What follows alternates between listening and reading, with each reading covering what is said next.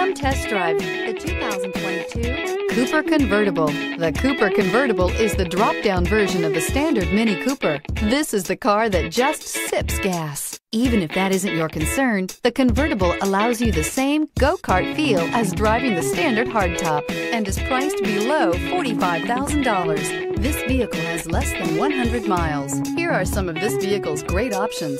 Tire pressure monitoring system, turbocharged, heated mirrors, electronic stability control, aluminum wheels, wheel locks, brake assist, daytime running lights, four-wheel disc brakes, fog lamps. Your new ride is just a phone call away.